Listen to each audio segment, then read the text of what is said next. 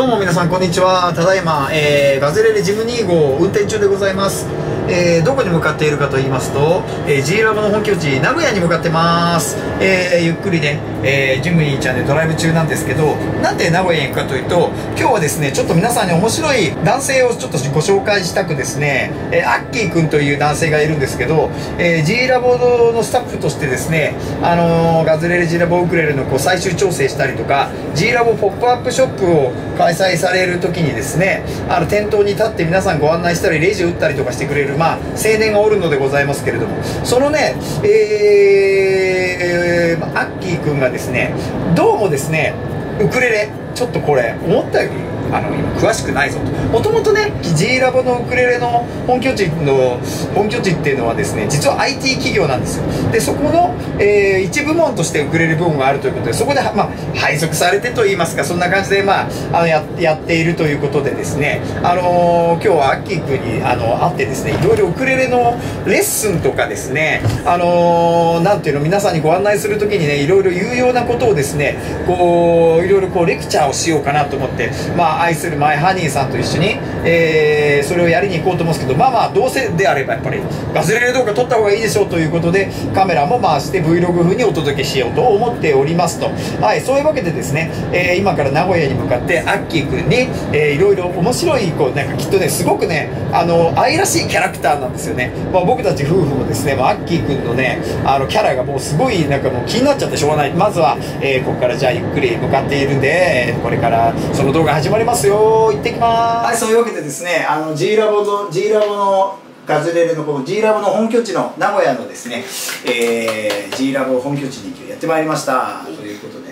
これねここ見たことあると思うんですけど G ラボでも YouTube チャンネルをやっていてね、うん、G ラボ YouTube チャンネルのあのぜひ皆さん動画あのアップロードしてるんでチャンネル登録お願いします。概要欄に貼っておきますけど、うん、今日はですねそのさっきもねちょっとご案内したように、えー、青年がいるという話でございましてですね、えー、今からちょっとその彼にですねいろいろこういろんなことをですねこうまあまあ、お勉強っつっちゃなんですけどしていただこうというのとちょっとね簡単に紹介していたださせていただこうかな、うん、はい。じゃあアッキー君アッキー君どうぞ。どうぞどうぞ。はいじゃあちょっと後でね小杉先生にレクチャーをしてもらうので。はい。どうもどうも。カメラにあの say hello してください。あ皆さんはじめましてアッキーです。すいませんいや本当はね秋月秋月くんという、うん、すごいですねかっこいい名前で。はい。でえっとねあのご覧になったことある方ももしかしているかもしれないですけど G ラボのポップアップショップとか、えー、ガゼレレのあのライブイベントで、えーよくスタッフとしてね、あのレジとかこう皆さんのウクレレご案内したりとか、えー、してくださってるんでねもしかしてああの人で見たことあるっていう方もいるかもしれないんですけど、あのー、案外ですね僕見てて思ったのが全然分かってねえなってことなんですよね。全然分かって全然分かってなくてこう質問をお客さんに聞かれても「ああの僕あの分かんないです」みたいな感じでそれはいけねえなって思って、まあ、今日はいろんなことをですねでウクレレって弾けるんですか？けるとは言えないです。ああなるほどね、うん、まあそういうことでこれなんでね G ラボのスタッフなのにウクレレ知らないかと思うかもしれないんですけどもともとねこの G ラボの本拠地であるあのその会社はですね IT 企業さんなんていらっしゃる。そこでですねこう採用されてそれを、やりながらもこうウクレレのこう手伝いとかもやっているうちになんとなくこう、えーと、ウクレレこう稼働チームになってで今に至るということでももともと音大なんだよね。一応。あのだから だ楽器は？打楽器をやって打楽器、はい、打楽器ってことはもっと具体的に言うと？えー、っともう数多いんですけれども。もう何でもなティンパニーとか？ティンパニーとかあのチンバルだったり。ああそうでもそうか。打楽器かパラディドルとかできるパラディ一応あのへえパラディドルっていうのはこれだよね。そうそうこれドラムの基本みたいなやつがあってね。えー、そういうのできたらすごいですね。いや全然。だけど弦楽器はやったこと弦楽器は一切。ちなみに楽譜は読めるんですか？一応読める。でも打楽器の楽譜ってまたちょっと特殊なので音階も読めることレミファとか読めることは読めます。そうなんだ。えピアノもやってたんですか？一応あの副科で取うわすごい。一応が多いですね。あのすみません。あの落ちこぼれていやいやいや何言ってんですか。まあまあそういうね、はい、ことがあってで今 G ラボのスタッフとしてはねあの皆さんにこのお届けしているこのウクレレの最終チェックも今も結構ね、はい、あの吉本さんあのボスがいるんだけどね。はい、吉本さんは一回ガズレレ YouTube に何回か登場してもらってるね。もう G ラボの日本のもうなんていうのかなボスですからねあのそうそうそう。でそこでまあ一応は一応ねその下についてやってるということなんですけどまあそうで僕がさこういろいろいろいろ教える。まずウクレレのプレイ以外のところでも例えばチューナーのさ知識とか弦の知識とかっていうのがあるじゃないですか。はい。そういうのってのはどどうなの？チューナーのチューニングはできるの？一応できると思います。どう思います。なるほど。まあまあまあまあ だじゃあ弦変えたことある？弦変えたこともありまあすそれはもう大丈夫。ってことはチューニングも大丈夫。チューニねングも大丈夫なはずで。すじゃあそれはもう経験値積めばね大丈夫だと思うね。でやっぱりお客さんに質問された時にまあ音の違いっていうのはまたそのそれぞれの個性が出ちゃうんだけどそういうのまで聞いていれば分かると思うんですけどなんか例えば僕が一番気になるのはこの弾き心地とかさはい。なんかこうタッチのや弦が柔らかいとかそういうところはやっぱりまだちょっと引き込まないとね。歌は好きなんでしょうね。歌は大好きです。なんか僕スタッフさんに聞くとカラオケ行ったら結構すごい。であとアニメがね大好き。アニメはあのそうですね。そう。アニメ好き。でもうん。アニメの話したらもうね顔がもう変わるの。あのすごい。全然そのあのにわかです。バカですね、はいまあ、そういうことでですね、今日はせっかくあのここね G ラボ本拠地まで来てですねあのまた今後ねその G ポップアップショップとかでアッキー君まあ参加してくださると思うんでその時にみんなにお気軽にねご質問されても答えられてもうコミュニケーション取れてたでああの子動画に出てた人だ。って言ってさまたねそしてそういうのまた楽しいじゃないですか、はい。まあ、吉本さんはもうねもうこうあのね「トイ・ストーリーの」あのなんだっけ。バズ・ライトイヤーみたいな感じで「はい。私は」とかやってます。あのちょっとキャラが違うね感じでちょっとじゃあ早速あの、ちょっとじゃあもう何の計画もないけどちょっと言ってみますか。小杉ハニー先生。私も全然計画ないんだけど。計画ないけどやってみましょう。はい。じゃあ先生登場です。お願いします。ということでじゃあ今日はアッキーと一緒にウクレレ楽しく弾いていこうかと思うんですけど、で今回はあのちょっと何をねこう使ってやるかっていうのが特に決まってなかったんですけど、あのこのね簡単ウクレレ教室ガズレレのあの基本のものを使って、まあ、これをね見ながらあのちょっとね一緒に楽しく弾いていこうかなというふうに思うんですけどよろしくお願いします。ちなみにえっとはい。コードははい。もう何個か分かったりどどのぐらいの感じなのかなっていうのあで、のですね。う踊るポンポコリン練習はしておりました。で8ビートのチャうん。で止まってます。あすごいじゃん。私なんかもう勝手な想像であのー、こうなんていうの？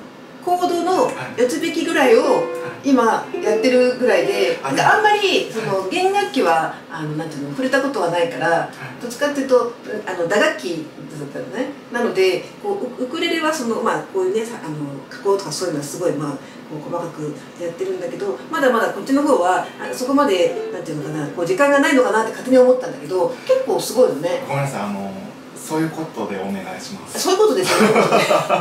四つ引きで止まってる程度でお願いしまえすでもじゃあ8ビートはチャレンジしたってことだよね。そうですね。へえあの8ビそうですね。チャレンジはしましたじゃあ「踊るポンポコリン」のはい。楽譜を見ながらだったら四つ弾きはもうまあ弾いて歌える感じのイメージ？えーちょっと自信はないです。じゃあ一回そこやってみます？本当ですか？チューニングをまだしてなかったので。素晴らしい。じゃあチューニングがすできるっていうところをねアッキーが今。いません。ちょっとめちゃくちゃ緊張してて手がめちゃくちゃあとさせっかくだからさ、ストラップをつけましょうよ。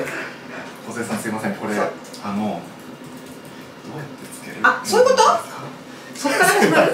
えでもちょっと待って。今これ縛ってあないのね。はいはいはいはい。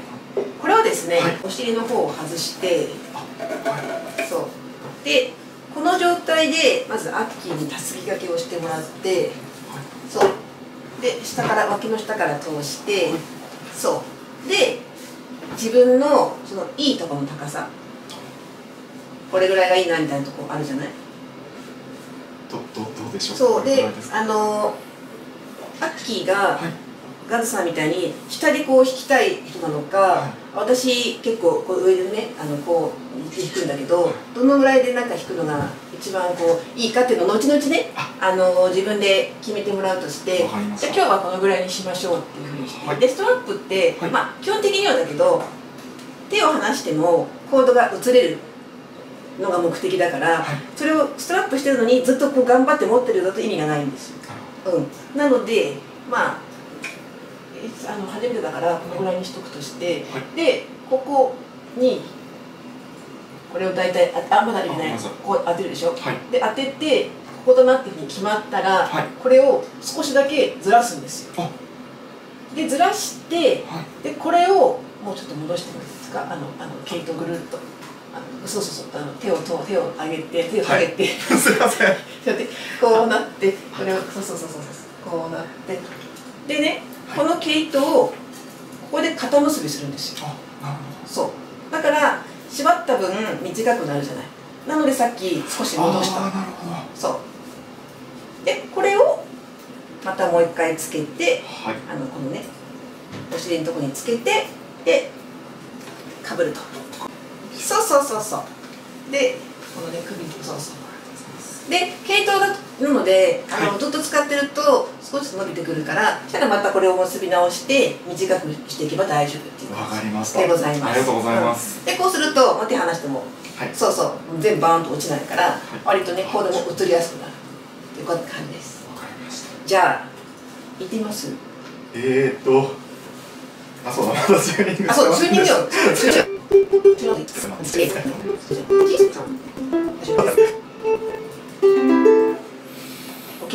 いーはいなんでもかんでもでいくよはいワンツーサンシなんでもかんでもみんないいじゃん踊り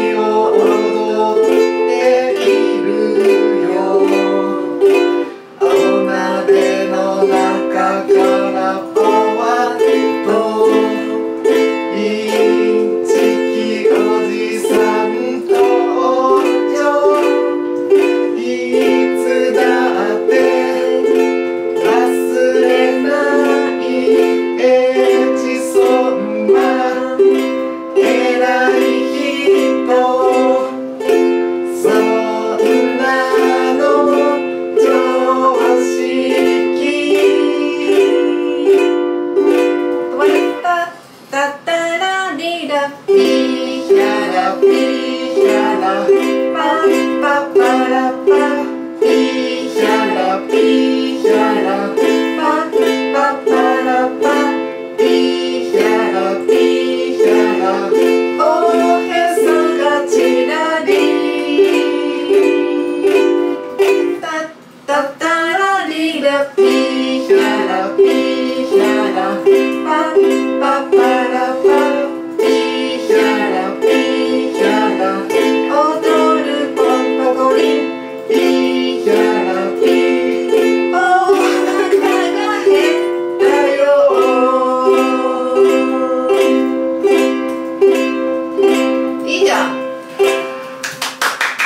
OK じゃん。大丈夫ですか？おうすごい。あとなんかねこうねあの自然とねこうやって体がねこうやって動いてましたか？そう。横に。全然気づかなかっやっぱさすが。そうだ打楽器打楽器だね そう。じゃあもう四つ引きは OK ってことで、はい。で8ビートは今。8ビートだけだったら？たどうでしょう？歌いながらはちょっと自信ないです。じゃあえっとじゃあ普通にちょっとこの1行はい。だけ、えっと、8ビートで弾いてみてはい。もらってもいい？いきます、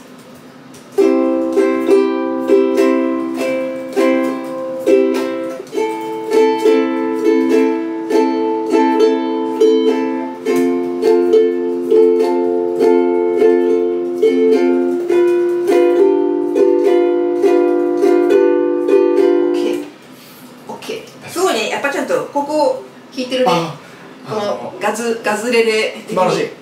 ここをね、うん、で秋はあれなんだね。あのこう人人差し指で弾くタイプなんだね。あのー、そうですどれが正解とかじゃないんだってないんだって、うん、ここち派なんだね。なんかガズさんみたいにかっこよく弾きたいんですけど。ちょっ私もねあ。最初ね人差し指だった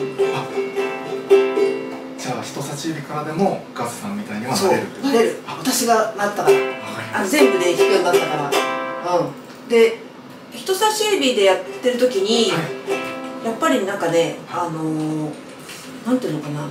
こうこここに力がいいなんていうのここだけに力を入れる感じがするから、はい。後々そのいろんなことをやっていくのにあの自由さがねやっぱ奪われる感奪われてる感じはするんだよね。こう体でこう打楽器やってるとさ体でこういくじゃん。なんだけどここだけ最後なんていうの調整入るっていうかさ指だけが、なんで体で全部いくんだったらまああこっちの方せっかくこうねこういうリズムを持ってるんだったらなんかこっちの方がもしかしたら楽しくさらにいけるかもしれないね。わかりますそう私も最初ねこうだった。うん。そのガッツさんとか小出さんとかって、うん。うん。全部の指で弾いてるんですか？あの小手さんはガズさんの真似をしてるだけなんだけどガズさん的には多分あの全部のなんていうの指っていうかねあの弾いてるんだよね。そう。私は意識してまだ意識して全部の指で弾いてる感じなんだけどガズさんは無意識にもうなんていうの自由にこう全部の指でやししなしなってるっていうかさそういう感じなんですね。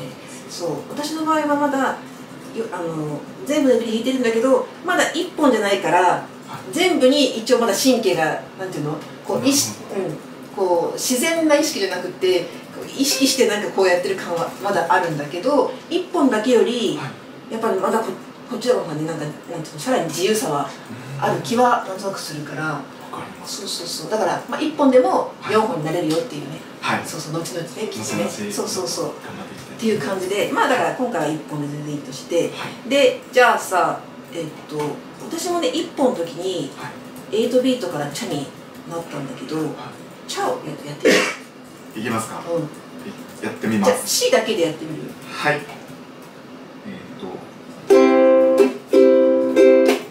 あえっ、と。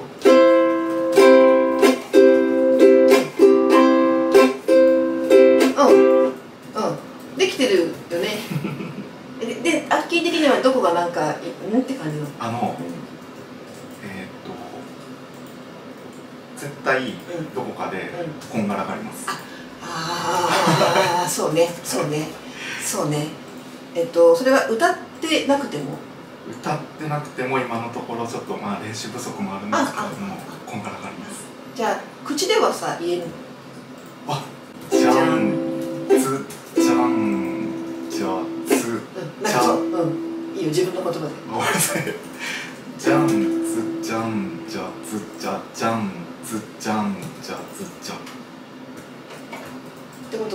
じゃんじゃんずずははいずが要はあのーのえっとチャンネルね、はい。うん、ガツさんがねはい。ね言葉で言うことは聞けるんだって。学生の時も聞いてたはずなんですけどね。あそうなの？私はガツさんが初めてね教わったんだけど。そういうことを学校でも言われる。学校でも言われます。ああそうだ言葉で言えなければ、うん。あのいやガズレレ大学大学教授。なんじゃんすごいね。そうです。ね言っとくけど僕ガズレレ大学の本当に教授だけそう。どね今大教授でやってるんだけど。そうそう。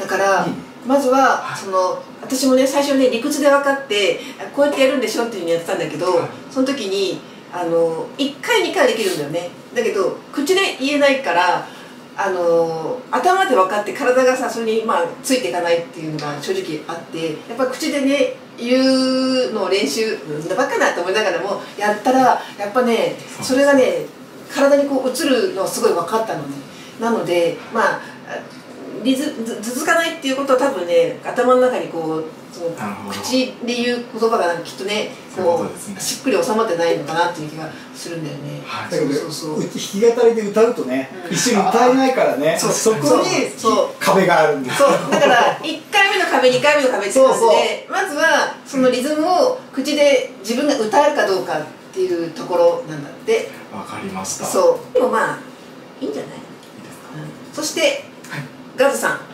何かさらに追加することをアッキーに伝授してもらえればと思います。よかったねガズさんに教えてもらえるんだよ。すごく緊張します。いいじゃないですか。いいですか？あとやっぱ好きな曲やるのがいいんじゃない？あやっぱ好きな曲じゃないと踊るポンポコリンばっかりやってると嫌だ最初はやりやすいんだけどあのなアニソンがいいんじゃないの？だから。ーあーなるほど。アニソンって何が好きですか？ちょっとなうりパッと出てこないんですけど、っぱいあるよね。まあその中でもガズレレのはい。ホームページでアニメソングっていうのがあるから、はい。そこ見てもらって、まあ、その中でも知ってるやつをまずやってみるとかそうすると難しくてもさ、い。やる気になるじゃん。はい。やっぱね自分が好きな曲じゃないとねなかなかつねもう秋月君はその打楽器をやってたからやっぱりねリズムが一番面白いんですよ。だからそこをやっぱりあのやるとね絶対いいと思うでちょっとこれ僕やるんだけどこっちにして。はい。こうこういうあのエイドビートってこれなんですよね。これだとできないのない？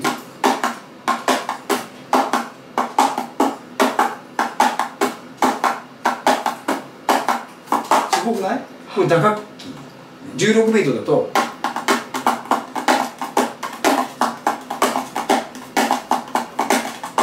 パーカッションですこれでリズムがいいいいに決まってるっていうかさこれ太鼓叩いてるようなもんなんですよ。め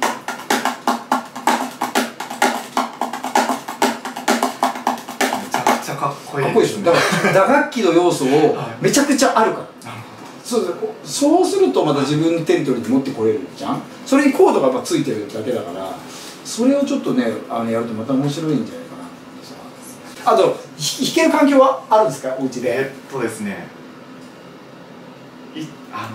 どどうなんでしょうちょっとあの小さく弾いて。そうだからあのーまあねあのこっそりやってるとねなかなかねあのすあの普段の練習はしょうがないけどたまにはお一人カラオケとか、はい。ちょっと公園とか川っぺりに行って青春のようには夕日を見ながら夕日夕日が出てる時間はお仕事ですよまあでもお休みの日とかさ。いいいです思いっきりやっぱ弾くとやっぱりね遠慮してるとねやっぱりねあれなんですよ。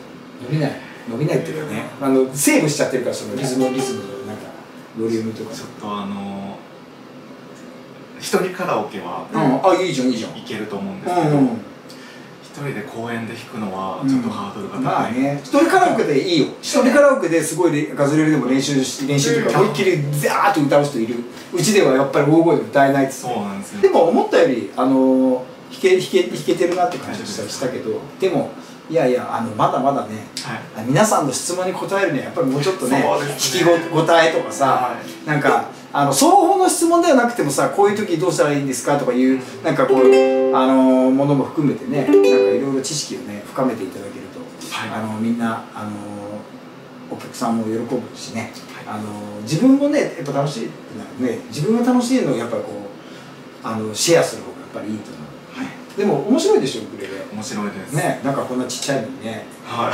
そうだからまあ打楽器やってまさか何の因果かウクレレね。だけどそういう出会いもやっぱりねせっかくこうスタッフとして今ねあのあちこち全国飛び回って、えーくれるんでなんかねどうせだったらなんかこういうのを皆さんシェアしてね。あのイベントで会った時は皆さん声かけてください。なんで G ラボポップアップショップのはね、はい。開催とかガズレレイベントの時にはもう大体アッキー君いることを思ってます。アッキーがね。はい。もうナイスキャラ炸裂で。はいすみません、えー今日はこんな感じでレッスンしてみました。ハニーさんどうでした？本当ね思ってる弾けたよね。そうだね。うん。やっぱり打楽器やってるっていうのがあってこうリズムの方にこうねあの、うん。楽しんでもらうのがね。本当私もだから打楽器だったからリズムが欲しいドラムだそうなんですか？ドラム娘そうドラム娘なの。そうそうそう。こう見えて。やっぱリズムがやっぱり面白い。そう。だから右手楽しくなるから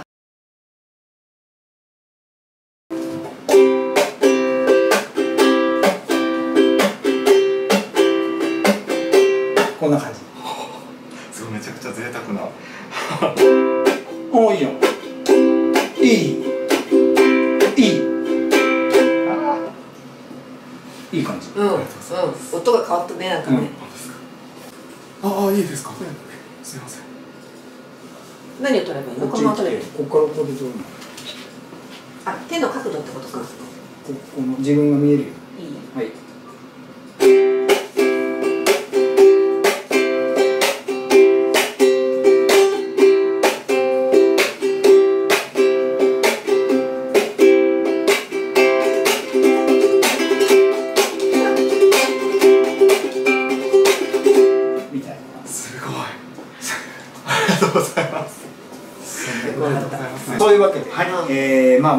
くりとやってみたけど。まあまあそれは当然だからね。ここで20分30分やっててもそんなもういきなりできましたというふうにはならないから、うん。なんかヒントをつかんでもらって、ね。えーやっぱこうまあ、結局さここでそのウクレレがマスターできればもうずっと死ぬまで永遠に楽しめるわけだから、まあ、そういうのもあるしね。あとまあみんなにも頼れ頼られるあなんか頼りになる、まあ、僕にとっても頼りになるね存在になってもらいたいしね。そうだね。そういうわけでまた引き続きよろしくお願いします。またなんかどっかでまた撮撮っていきましょう。はい。であとイベントの時にあったらアッキー声かけかけかけてます、はい。緊張してると思います、そんな感じで今日のガズレレレッスンは、えー、アッキー登場はいレッスンしてみた、ということであとこれから座学でね、なんかちょっといろいろ知識のこともちょっとあの後でやっておこうと思うんだけど、うん。はい。よろしくお願いします。はい。じゃあさようならこの本の予約がスタートになりました、えっと、2月15日に発売のね、えーリットミュージックから出る子供と歌おうという本です。これ、もう Amazon とか書店さん、楽器店で、たただいま大好評予約受付中、それを記念しまして3月12日は渋谷のタワーレコードでインストアイベント無料ですよ。開催します。ぜひ皆さん来てください。あのね、渋谷のタワーレコードで、えー予約してもらうといいことばっかりです。その辺のことについても概要欄に貼っとくんで、チェックぜひともよろしくお願いします。2023年はガズレレがスタートしてですね、生誕10周年。皆さんのおかげです。本当にありがとうございます。えー、それを記念しましてですね、東京、名古屋、大阪で5月にイベント開催です。5月14日昼間の時間、東京吉祥寺、大阪は5月19日夜の時間帯、5月20日は昼間と夜、2つ時間帯があってイベントを名古屋で行います。詳しくは概要欄に貼っておきます。ぜひ皆さんチケットご予約いただいて、ライブハウスでお会いしましょう。そしてガズレレではですね、もう他にもいろいろやってるんですけど、このね、ガズピアノというのをやってるんですよ。これ、ガズがやってるハニーさん、私の愛するハニーさんと一緒にやってるピアノ教教室なんですけど、ここでね、YouTube チャンネルもこれ YouTube やってるんですけど、なんと本が出版されております。めちゃくちゃ楽しくて、これウクレレやってる方だったら本当あっという間に鍵盤弾き語りもできるプログラムになってますからね、世界で一番簡単な鍵盤教室です。ぜひこれもあの、YouTube と本の方もですね、これ Amazon でこんな風に調べてみてください。そしてですね、えーガズレレでは、えっ、と、アプリがあります。ガズレシピという便利なアプリ、楽譜が見られるアプリなんですけど、このね、アプリの特徴は、えースマホとかタブレットで見られるんですけど、自動スクロール機能とかメトロノーム機能を満載していて、もう曲がですね、かなりの曲数になってます。